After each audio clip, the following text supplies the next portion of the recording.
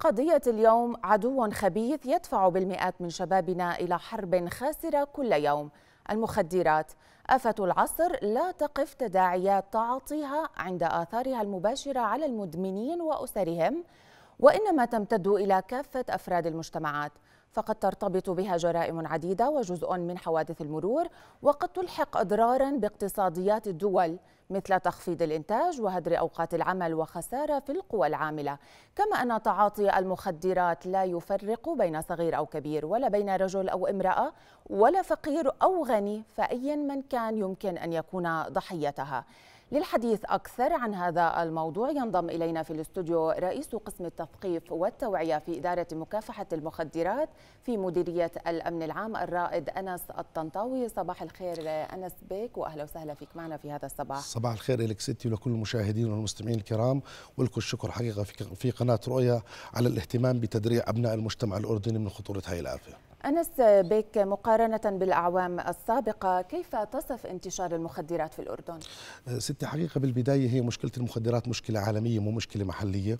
يعني تقرير هيئة الرقابة الدولية بيحكي أنه المخدرات للأسف موجود الآن في 218 دولة وعدد دول العالم هو 218 إحنا بالأردن جزء من هذا العالم إذا بدنا نأخذ منه الخير لابد لا يلحقنا الشر. لكن يعني ما بتقدر تقارن الأردن بمشكلة المخدرات اللي موجوده في بعض دول العالم. هون بدي أحكي شغلة مهمة إنه أحيانا الناس برددوا موضوع ظاهرة المخدرات ظاهرة المخدرات. هو حقيقة يعني أنا بمثل مديرية الأمن العام وبحكي إنه لا يوجد ظاهرة مخدرات بالأردن لدينا مشكلة مخدرات. نعم. فبالضبط بالضبط. يعني الأرقام الموجودة عندنا بالأردن تشير إلى وجود بداية مشكلة وليس وجود ظاهرة لأنه الظاهرة في لها معيار دولي. بدي أحكي هو الموضوع طب لو لو قارنا بالأعوام السابقة هل هناك تزايد في نسبة انتشار المخدرات؟ حقيقة هو الأعوام السابقة المشكلة إذا بدنا نحكي عن موضوع التعاطي كانت المشكلة الموجودة بالشرق الأوسط تحديدا هي مشكلة الجوكر.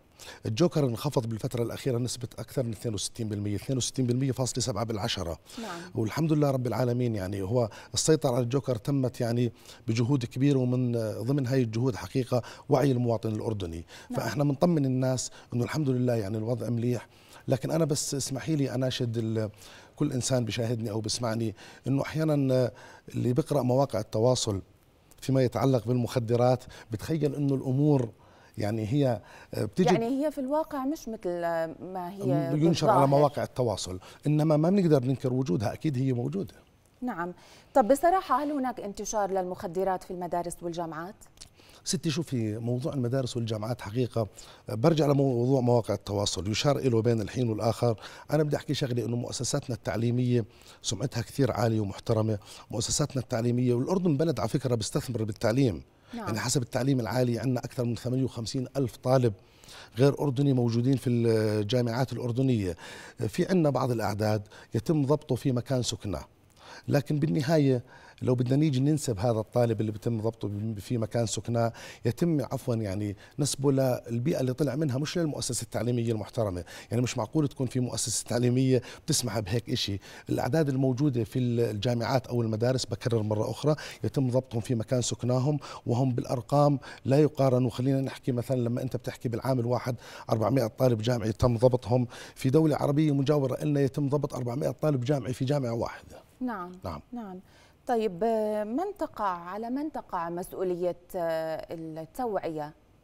يعني ما دوركم أنتم في هذا موضوع شوفي إذا بدنا نحكي عن محور الوقاية بإدارة مكافحة المخدرات إحنا عندنا التوعية النمط التقليدي المعهود اللي هو من خلال المحاضرات في المدارس والجامعات حتى محاضرة المخدرات في مساق العلوم العسكرية في جامعاتنا هي يعني إلزامية نعم. لكن الآن خرجنا عن النمط التقليدي على السوشيال ميديا في لنا فيديوهات بتنزل بين فترة وأخرى على كل الفضائيات أيضا الموجودة بالأردن وهي الدليل وجودنا بالأستوديو أيضا على الإذاعات المحلية في عندنا برامج توعية ضخمة في عندنا دورة اسمها دورة أعوان مكافحة المخدرات بندرب فيها مدربين لجمعيات ومركزين فيها حاليا على الأمهات.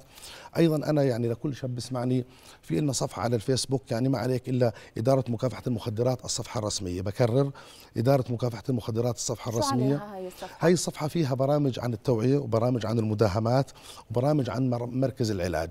كل ما هو حديث كل ما هو جديد إحنا بننزله على هاي الصفحة. أيضا أنا بحكي للشباب أرجوك هاي الصفحة فيها تصحيح مفاهيم خاطئة.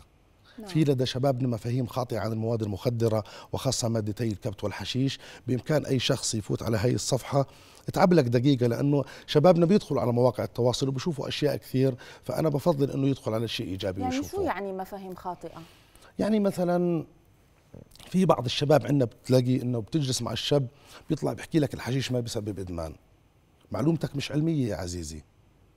يعني هلأ بيطلع تقصد معلومات خاصة بتكوين المخدرات بالضبط وأنواع بالضبط المخدرات بالضبط. و أو بعض الشباب بالضبط بعض الشباب يعني بيدخل على مواقع عالمية مشبوهة بروح بجيب معلومة إنه الكبت أو الكبتاجون حبوب السهر. الكبتاجون مو حبوب السهر علميا ممكن تكون العيون مفتحة والعقل نايم. إذا ساق سيارة بيقتل أسرة كاملة. نعم. والكبتاجون مو مثلا هذا أحد المفاهيم الخاطئة. الكبتاجون مو فيتامين هو أم فيتامين. بيعطيه power زائد ممكن يفجر خلايا الدماغ يؤدي للموت مثلا ما بيعرفوا بسبب مرض الذهان الذهان أعلى درجة من الفصام. نعم. هذا كله في الكبتاجون اللي الشباب بيعتقدوا مثلا عمره ما كان حبوب سهر وللعلم. هو محرم على المستوى الدولي. آه، بيجي شاب آخر مثلا بيحكي إنه والله الحشيش ما بيسبب إدمان. الإدمان نمط سلوكي مزمن متكرر متعدد الانتكاسات. يعني بمعنى أي مادة مهلوسة أو مهبطة أو منشطة بتدخل الجهاز العصبي عندي بتجعل عندي نمط سلوكي أكررها رغم عني إدمان نعم. والحشيش مادة مهلوسة. ومعظم الشباب على فكرة مش بس عندنا بالعالم اللي تعاطى هيروين أو كوكايين أو على مستوى الجوكر عندنا بدأ بحشيش. نعم. بما إنه صار يجلس مع المروج المروج بعد فترة بينقله من الحشيش لمواد أخرى. كل المفاهيم الخاطئة اللي بيمتلكوها الشباب من وسائل إعلام عالمية أو مواقع مشبوهة إحنا بنحاول على صفحتنا إن نصحح هاي المفاهيم ونحكي للشباب لا ستوب هذا كلام مثلا ممكن يكون أصله مش علمي وبينما أنا بدي أعطيك الكلام العلمي مع الدليل العلمي. نعم. فهذه المفاهيم موجودة للأسف لدى شبابنا. طيب اللي بيكونوا آه، شهود عيان في مناطق اللي بيتم فيها توزيع آه، المخدرات بيخافوا إنهم يبلغوا؟ م. شو كيف بتضمنوا أنتم حمايتهم؟ بدي أحكي اول شيء القانون بضمن حمايتهم.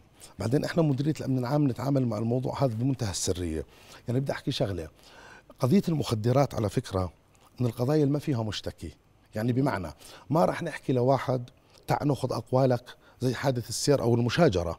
حتى نودعه مشتكي للقضاء مبادرة بتتم من بالضبط هو من هو بالضبط الافراد تبليغ عن عن المروجين. ما عليه إلا زي ما تفضلتي اللي ببادر ما عليه إلا يقدم المعلومة. إحنا بناخذ منه المعلومة بنعمل لها تحليل بنعمل لها فلترة بنتأكد من الأشخاص اللي أعطى عنهم المعلومة. قادرين ان نعرف إنه هاي كيدية أو مش كيدية. أه، بدنا نفرق بين الكيدية والخطأ. الآن المعلومة الكيدية هذه جريمة. لكن نعم. إذا كانت المعلومة خطأ أنا اعتقدت وأخطأت ما في مشكلة عندنا بيننا وبين المواطن. إذا اشتبهت بشيء إحنا بنعرف أنت بس وصل لنا المعلومة إحنا بنتعامل مع المعلومة بمنتهى السرية. لدينا قدرة ولدينا كفاءة من الضباط العاملين إنهم يصلوا لهذا الشخص ويتم جلبه أو إحضاره بالجرم المشهود. آه، على فكرة حتى الشاهد في قضية المخدرات في المحكمة إحنا نتحمل هذه بلدنا. كيف يعني؟ يعني الضابط يلي ضبط القضية هو اللي بيروح بيشهد في المحكمة مش نعم. الشخص يلي أعطانا المعلومة. فبالتالي هذا الإشي عزز خلينا نحكي المصداقية أكثر وأكثر موجودة من قبل وعززها بيننا وبين المواطنين يلي أعطونا معلومات ورجعوا كرروا بإعطاء معلومات أخرى. أنا بطمن كل الناس أنه بس أنت مرر المعلومة ل 420 8000 نعم. غرفة العمليات الرئيسية في آه، إدارة مكافحة المخدرات من أي مكان 420 8000 أيضا غرفة العمليات الرئيسية اللي هي الأم السيطرة في مديرية الأمن العام. إذا نرجع نعيد الرقم. 420 8000 من أي مكان بالمملكة. أيضا غرفة العمليات الرئيسية الأم في مديرية الأمن العام 911 هم بوجهوك 911 لمكافحة المخدرات. نعم. والمكافحة في عندنا حوالي 32 قسم وفرع على فكرة. في عمان وباقي باقي المحافظات. وإحنا بصراحة ما بنحكي المواطن رديف. نعم. مواطن شريك. في العملية الأمنية وتعاون المواطن أدى لضبط كميات كبيرة من المواد المخدرة وأيضا معلش بدي أشير إنه يوم أمس كان حديث عطوفة مدير الأمن العام اللواء فاضل الحمود عن دعم جهود مكافحة المخدرات وأيضا تطرق لموضوع التشاركية مع مؤسسات المجتمع المدني وحث نعم. كل المؤسسات سواء كانت المؤسسات وإحنا من خلالكم أيضا من ضمن يعني كلامنا وصوتنا لصوت الباشا إنه بدنا المؤسسات التعليمية والدينية والصحية والإعلامية إنها تقف تقف إلى جانب إدارة مكافحة نعم. المخدرات والى جانب قواتنا المسلحة وكل الأجهزة اللي بتكافح المخدرات نعم يعطيكم العافية لكم لكل الجهات الداعمة أيضا الرائد أنس الطنطاوي بس تسمحي لي بموضوع الت... العلاج اللي عنده حالة فضل. علاج لو فضل. اتصل برؤية تحت الهواء حرام. حرام ابني أو ابنك أو مين ما كان إنه يبقى مدمن هذا نعم. المدمن قنبله موقوته ممكن يرتكب أي جريمة في البيت أو في المجتمع حتى لو اتصل في رؤية تحت الهواء أو أو اللي إحنا حكينا عنهم الأرقام لا تسكت عن حالة علاج عن حالة إدمان في البيت راح يتطور السلوك الإدماني السلوك الإدماني متنامي السلوك الإدماني متصاعد. راح يرتكب. جريمة. إحنا بندخله بسرية تامة وبدون عقوبة. وأيضا بالمجان وما بنزل عليه قيد. نتحمل مسؤولية طرحنا هذا على الهواء. من لديه حالة علاج يتفضل إلى مركز العلاج. شكرا لكم لجهودكم الرائد أنس الطنطاوي. آه، رئيس قسم التوعية والتثقيف في إدارة مكافحة المخدرات في مديرية الأمن العام. شكرا لوجودك معنا. شكرا, شكرا.